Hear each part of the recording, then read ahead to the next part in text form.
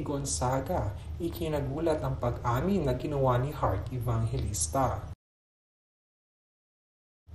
Samot-saring balita na nga ang lumalabas simula nung umugong ang balitang hiwalay nga sina Heart Evangelista at Chiso Escudero. At magpahanggang ngayon ay may mga bagong kwento ang lumalabas patungkol sa totoong dahilan ng hiwalayan nilang dalawa. At dahil limitado lang at hindi nagbibigay ng kanilang pahayag, ang mag-asawa tungkol sa nasabing issue ay patuloy pa rin ang pagkalat ng mga kwento kung ano-ano ang dahilan ang pinagdadaanan ngayon ni Hart sa kanyang personal na buhay ating matatandaan na pinag-usapan sa lahat ng social media platform na di umano ay may nabuntis si Senator Cheese na babae at sinundan pa ito ng usap-usapan na sekretary di umano ito ni Cheese Escudero.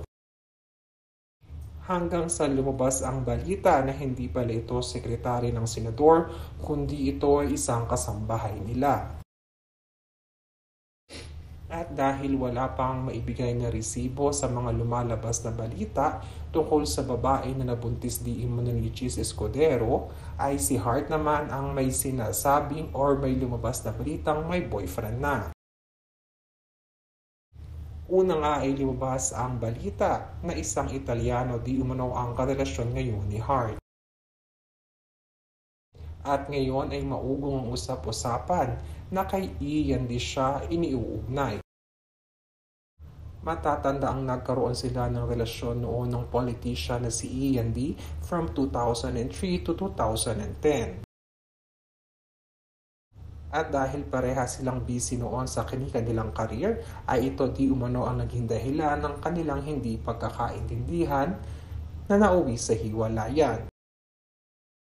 At dahil nga naging dahilan ng hiwalayan ni Hart noon at ni Ian D, ay ang kawalan nila ng oras sa isa't isa, kaya naman hindi maialis ngayon ng mga netizens na iugnay ito sa kasulukuyang sitwasyon ng relasyon ni Hart at ni Cheese Escudero.